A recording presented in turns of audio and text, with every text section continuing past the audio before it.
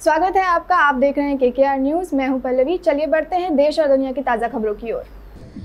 पैगंबर इस्लाम हज़रत मोहम्मद साहब की योम पैदाइश का दिन दुनिया भर में ईद मिलादुलनबी के रूप में मनाया जाता है। इसी क्रम में आज शुजालपुर शहर में भी ईद मिलादुलनबी के मौके पर सीरत कमेटी के जी ग्रुप और अंजुमन इस्लाम कमेटी, शुजालपुर और शहर के वरिष्ठ जनों की सरपरस्ती में एक अजीम शान जुलूस केजीएन चौक से निकाला गया, जो कि शहर के प्रमुख मार्गों से होते हुआ उक्त जुलूस का शहर के विभिन्न स्थानों पर इस्तकबाल किया गया, जहाँ अपने समापन स्थल ईदगाह परिसर में पहुँचने पर हज़रत मोहम्मद साहब की सीरत बयान की गई और वृक्षारोपण कर मिठाई बांटी गई और तमाम शहर के लोगों को ईद मिलादुलनबी की मुबारकबाद पेश की गई। इस अवसर पर केजीएन सीरत कमेटी के सुदर इम्तियाज़ भाई इसाक वकील साहब अंजुमन इस्लाम कमेटी के सदर आशिक पठान, सरीक पठान, शाहिद पटेल, हाजी, मुस्तार अली सहित हज़ारों की संख्या में मुस्लिम समुदाय के लोग मौजूद रहे। मुस्तर साहब हैं, हमारे पार्षद साहब सईद पटेल साहब हैं, हाजी सईद, हमारे सिद्दीक भाई पार्षद साहब हैं और इसाक वकील साहब, हमारे जामा मस्जिद के सदर, जनाब आसिफ साहब हैं और ईदगाह कमेटी के सदर हमारे जनाब हाजी जवाज भाई भी यहाँ पे हैं और मेरे तमाम साथी जितने भी यहाँ पे लोग हैं वो सब यहाँ मौजूद हैं। इस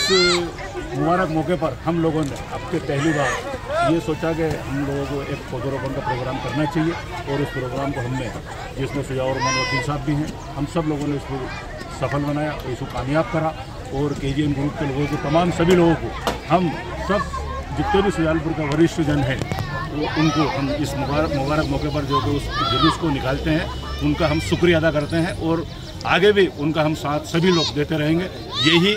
मेरी सब लोगों से गुजारिश है और इस जुलूस को हमने बहुत शांति तरीके से निकाला, जिसमें प्रशासन हमारे साथ था, मौजूद रहा और अब ये जुलूस का समापन हमारा ईदगाह से खत्म। हुआ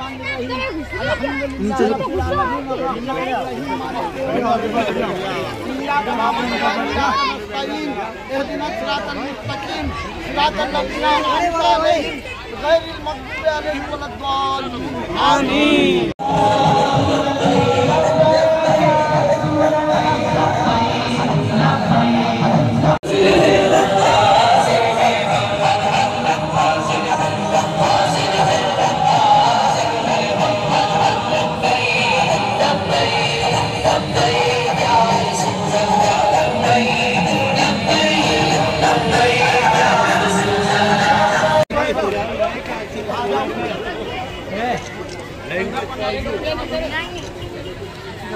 ऐसे ही देश और दुनिया की खबरों के लिए बने रहिए के न्यूज़ के साथ।